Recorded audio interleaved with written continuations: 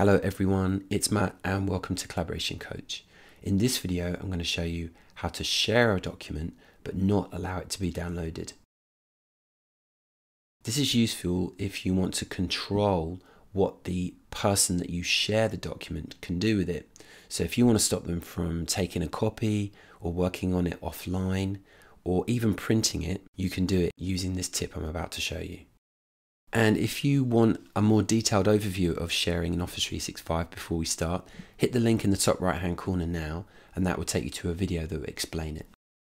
I'll show you how to do this from OneDrive and from a SharePoint team site, and I'm going to start in OneDrive. I've got my list of files here, and if I select a file, I've got the two buttons that allow me to share the file, share and copy link.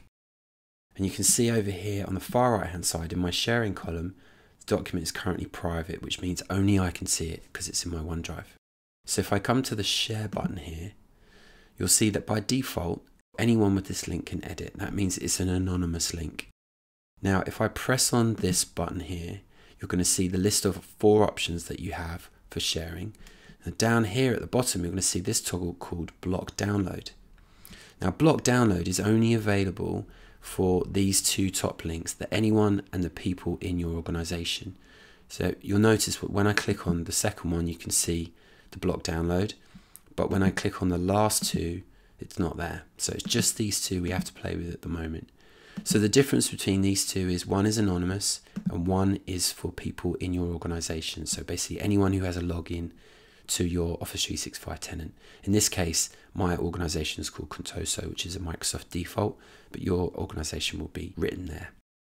Now, if I choose anyone, that's going to be anonymous, and you'll see at the bottom the block download toggle is actually grayed out. That's because this allow editing checkbox has been checked, so the link I'd send would be an edit link. To enable block download, you need to uncheck allow editing because when we share an anonymous link, it has to be read only if we want to block the download. So once allow editing has been unchecked, we can then go to the block download toggle and just switch it on. Now when I hit apply, that means the link I will send to the person will have those settings in it. So they'll be able to open up the file as read only and they won't be able to either download or print the document. I'm going to put an external person in here. So I've got a an external uh, Gmail address. This is outside of my organization. I'm just going to choose that. So it's got this Gmail account listed here. Um, and I could put a message in here. And then you hit send. So that's going to send the email with the link to the person that you specified. Okay, I've switched browsers now to the recipient of the email, so the person I just shared with. And you can see here in my Gmail inbox, I've got this email, and if I click on, I can see here's my file.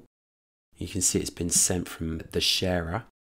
I've got the, the little notification at the top here that this link will work for anyone, which is true because it's an anonymous link, and a little bit of information about where it's come from.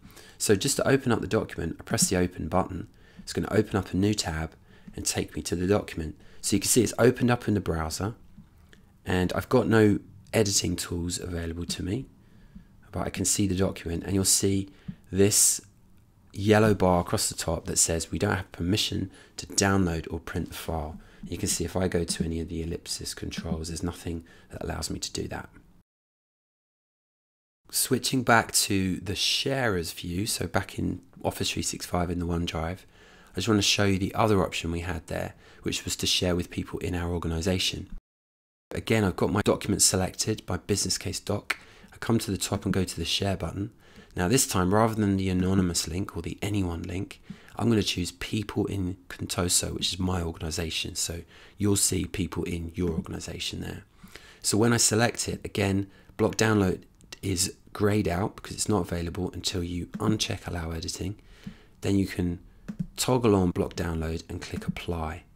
Now we have a link that we can send to people within our organization so they can see it. So I've got one of my colleagues here, Megan.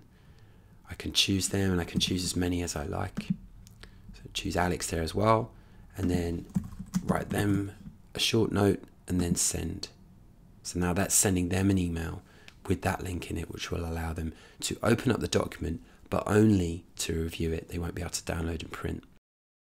Now, once I've shared in that way with people from my OneDrive, I can always manage those links uh, afterwards. So, say I wanted to remove the block download from a link, I could do that. So, I just need again to select the document. So, I've got my business case document selected here, and I'm going to come over to the far right hand side and choose this little I, which is the details pane.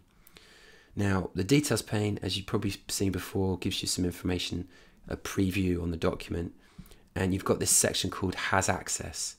And I can click on Manage Access, and that's going to show me all the different ways that other people can see that document. So you can see it's split into two sections here. It's the direct access at the bottom, which is me. So that's basically I've got direct access to that file because it's my file, it's in my OneDrive. And you can see there I'm the owner. And if I scroll up a bit, you can see I've got these links as well. If you remember, we just created two links. One was an anyone link that I could share with anyone. The second one was a, a link that people in my organization could use. And they're both listed here. So you can see both of them here. I could copy them here if I wanted to, but I can also go using this ellipsis, just click on, and that will take me to the settings of the link. And you can see here that I can remove the link by pressing this button and click delete link and that will remove the link from this list. So now that link that I previously shared with my Gmail user no longer works. So that's great if I want to block access to that file completely, but what if I wanted to just switch off the block download and allow them to download it? You'll notice that if I go into the ellipsis of this link, the link settings are can view and block download, but they're both grayed out. If you hover over this little eye icon here, you can see that you can't change the permissions once they've been set. You'd need to create a new link. So the way you do that is just by removing this link, then you press delete link. Now that link has been deleted.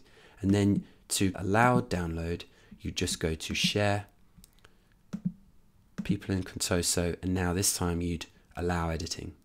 Or you could switch off allow editing but just not toggle on the block download depending on what you need.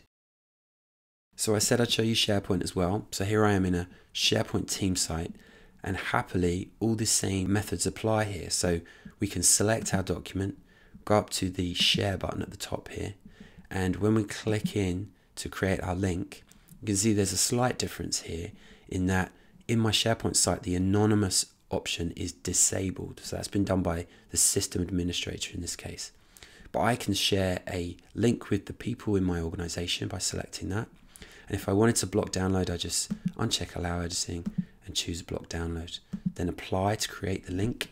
And then I just choose the people I want to send it to. So in this video, we looked at how to share a document and block it from being downloaded or printed. Thanks for watching and see you next time.